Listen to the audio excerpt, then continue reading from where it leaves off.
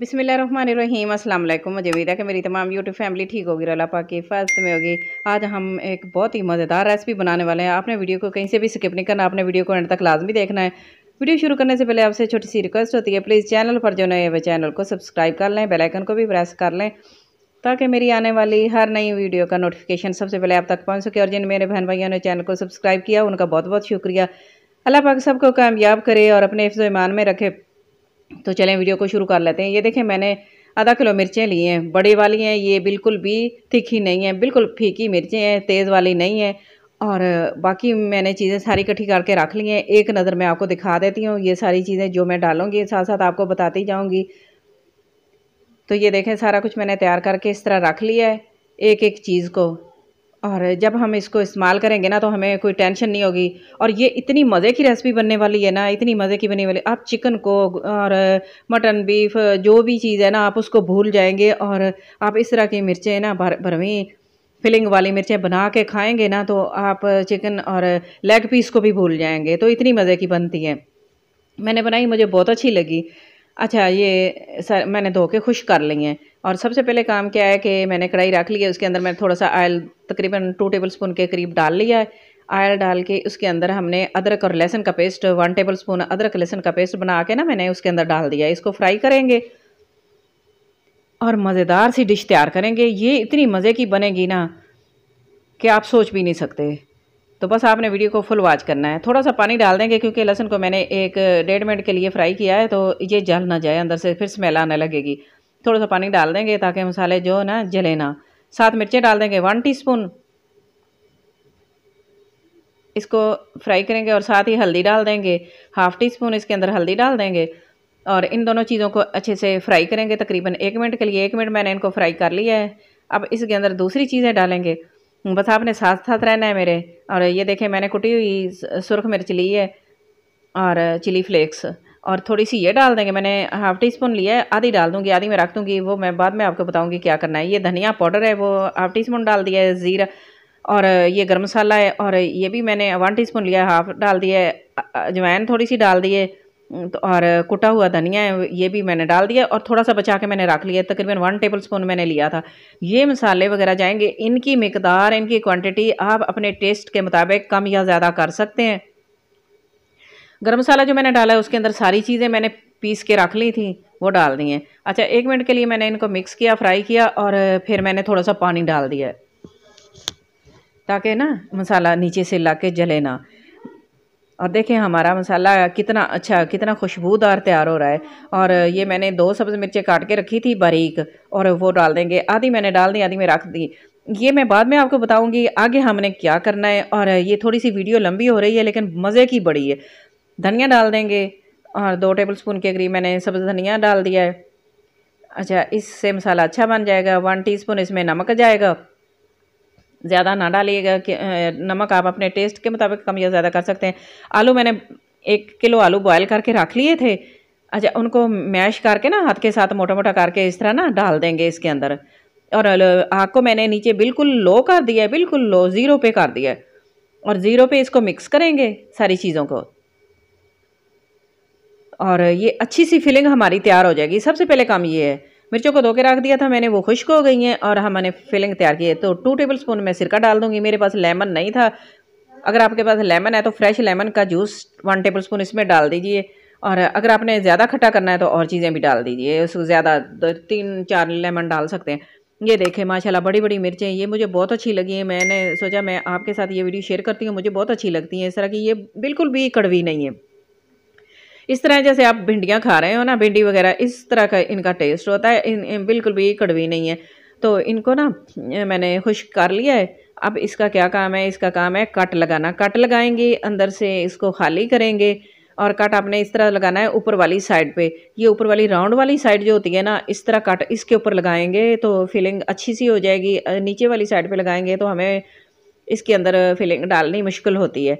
तो चम्मच की मदद, छोटा मैंने स्पून लिया है, इसकी मदद से ना हम इसके अंदर से बीज वगैरह निकाल लेंगे, ठीक है? और ये मज़ेदार सी रेसिपी ना, आप एक दफ़ा तो ज़रूर आपने ट्राई करनी है, मज़ेदार सी रेसिपी को। और जिन मेरे बहन भाइयों ने चैनल को सब्सक्राइब किया, उनका बहुत बहुत शुक्रिया। और जो चैनल पर फ़र्स्ट टाइम आया तो प्लीज़ वो चैनल को ज़रूर सब्सक्राइब कर लें। और लाइक शेयर ज़रूर कर दिया करें, इससे कोई चार्जेस वगैरह तो आते नहीं है। अच्छी अच्छी वीडियो आपके साथ शेयर करती हूँ, और भी मज़ीद अच्छी अच्छी वीडियो आपके साथ शेयर करूँगी। इन आइंदा वक्त में ना बहुत अच्छी अच्छी वीडियो आएँगी, आपको देखने को मिलेंगी, सीख सीखने को मिलेगा, आपको मेरे चैनल पर बहुत कुछ। तो आप मेरे चैनल को सब्सक्राइब ज़रूर कर लीजिएगा। देखिए मिर्चों को मैंने इस तरह साफ़ कर लिया, अंदर से सारे बीज वगैरह निकाल दिए। अगर आप नहीं निकालना चाहते तो ना निकालें, क्योंकि कड़वे तो है नहीं, लेकिन फीलिंग हमने डालनी है ना तो इस वजह से फिर अंदर से खाली करना होता है। तो एक मैंने खाली कर ली, मैं आपको दूसरी भी खाली करके दिखाती हूँ, आपके सामने आहिस्ता आहिस्ता आराम आराम से, ताकि आपको अच्छे से समझ आ जाए और आप ये अच्छी अच्छी रेसिपी बनाकर अपनी फैमिली को इंजॉय करवा सकें। क्योंकि खाना वगैरह तो हर रोज़ बनाना ही होता है और खाने को प्यार से जब बनाएँगे ना तो फिर आपका खाना बहुत ही मज़े का बनेगा। दूसरी मिर्च को भी मैंने इसी तरह काट लिया ऊपर से। जो ऊपर वाली राउंड शेप थी ना, अंदर वाली शेप से नहीं है हमने काटना। ऊपर से जो राउंड शेप आती है ना, उस साइड से हमने इसको काट के ना फिलिंग डालनी है इसके अंदर। तो ये देखें ये भी हमने खाली कर लिया अंदर से थोड़े से बीज होते हैं इनके अंदर तो ये हमने खाली कर लिए। तो ये, ये ना आपको टेस्ट इसका ऐसे आएगा जैसे आप लेग पीस खा रहे हो। आपको यकीन नहीं आएगा आपको अगर मैं चेक करवा सकती ना तो आपको ज़रूर मैं खिलाती। तो देखिए उस दूसरी साइड पे हमारी फीलिंग ठंडी हो गई है और मैं ढेर सारा धनिया इसके ऊपर और डाल दूँगी क्योंकि धनिया जो होती है ना वो खाने की जान होती है। मुझे बहुत अच्छा लगता है मुझे बहुत पसंद है मैं शौक से खाती हूँ और मैं ज़्यादा धनिया इस्तेमाल करती हूँ। इसको मिक्स करेंगे। ये फिलिंग जो थी ना, ठंडी हुई पड़ी है।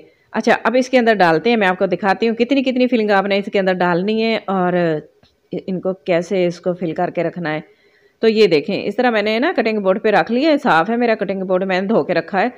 इसके ऊपर रख के ना, इसको अच्छी तरह इस तरह दबा दबा के इसके अंदर डालेंगे और इसको अच्छे से भर देंगे। तो आप समोसे और लेग पीस चिकन वगैरह सब कुछ खाना भूल जाएँगे। जब इस तरह की टेस्टी मिर्चें खाएँगे ना तो ये बहुत ही अच्छी, बहुत ही डिसेंट सी लगेंगी आपको। और खाने में तो जायका इतना अच्छा है ना, आप सोच भी नहीं सकते। माशाल्लाह, मुझे बहुत अच्छी लगी हैं।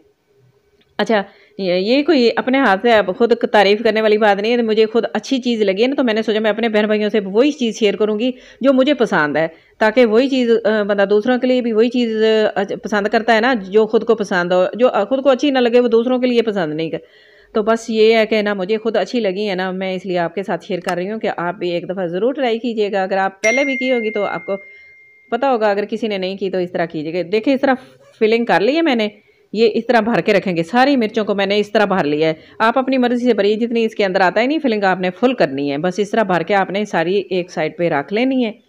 अगला काम क्या है? अगला काम मैं आपको बताती हूँ। इसकी ना कोटिंग तैयार करनी है।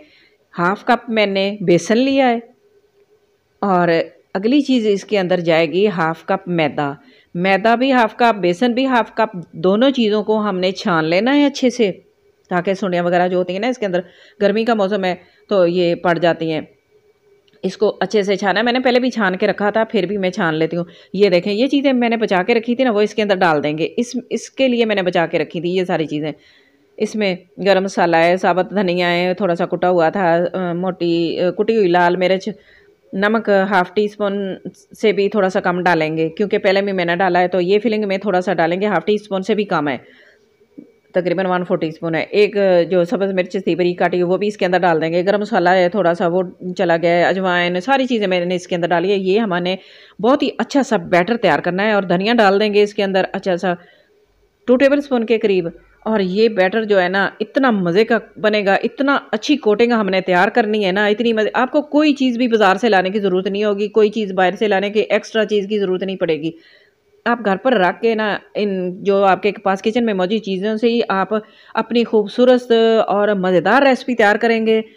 और इस महँगाई के दौर में आपको भी कुछ डिफरेंट खाने को मिलेगा अच्छा खाने को मिलेगा, क्योंकि चिकन वगैरह तो हर कोई खाता ही है। देखें, ये फ़ूड कलर डाल रही हूँ, इसका कलर अच्छा हो जाए डाल के ना, इसको तकरीबन वन फोर टी स्पून है, इसके अंदर डाल देते हैं। दो चुटकी के बराबर होता है तो ये डाल के ना मिक्स करेंगे अच्छा सा कलर आ जाएगा।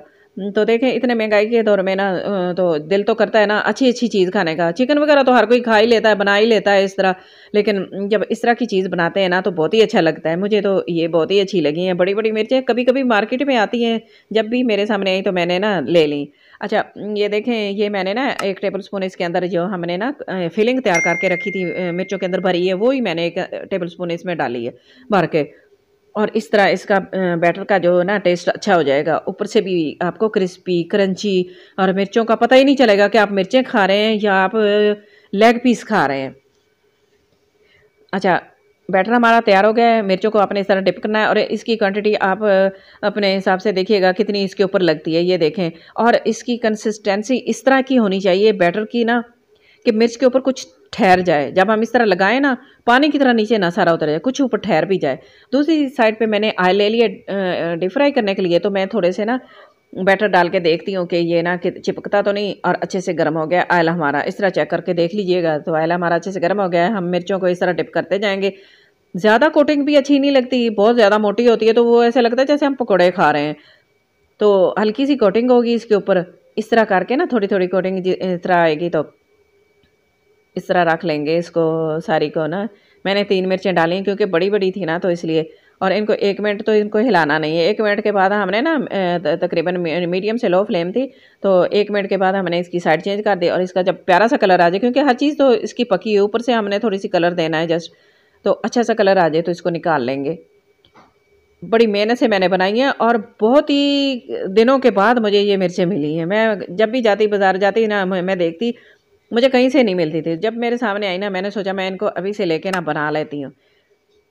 तो देखें, माशाल्लाह, हमारी बड़ी बड़ी सब्ज़ मिर्चें ना, बहुत ही मज़े की बनी है, खुशबू इतनी अच्छी है, मैं आपको बता नहीं सकती, मेरा किचन महक गया है। माशाल्लाह, अल्हम्दुलिल्लाह, अल्लाह का शुक्र है, अल्लाह पाक हर एक को अपने ख़जाने से दे, इस तरह की अच्छी अच्छी रेसिपी।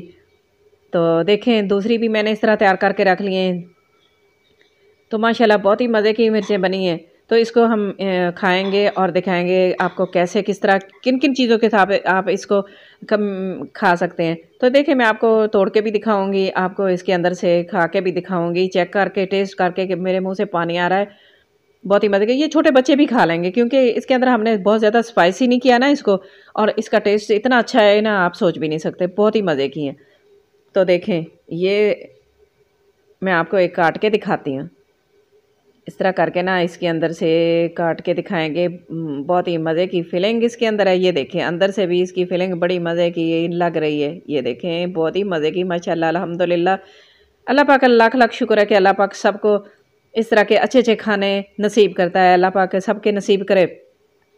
और मुझे तो ये केचप के साथ बहुत ही मज़े की लगी है। और साथ मैंने पुदीने की, धनिया की चटनी भी बनाई है। थोड़ी सी मेरे पास दही थी, वो उसके अंदर थोड़ा सा मैंने पानी डाल के ना मिक्स कर लिया।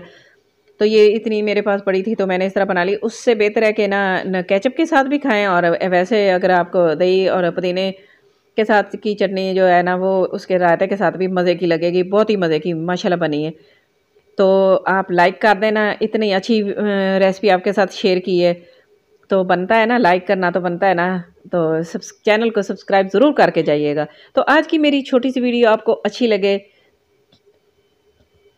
तो लाइक करना शेयर करना सब्सक्राइब करना। अपना और अपने घर वालों का बहुत सारा ख्याल रखना और मुझे अपनी दो में ज़रूर याद रखना और मुझे कमेंट बॉक्स में जाके ज़रूर बताना कि आज की मेरी सब्ज़ मिर्चों की रेसिपी आपको कैसी लगी है? मुझे आपके कमेंट का इंतज़ार रहेगा। थैंक्स फॉर वॉचिंग अल्लाह हाफिज़।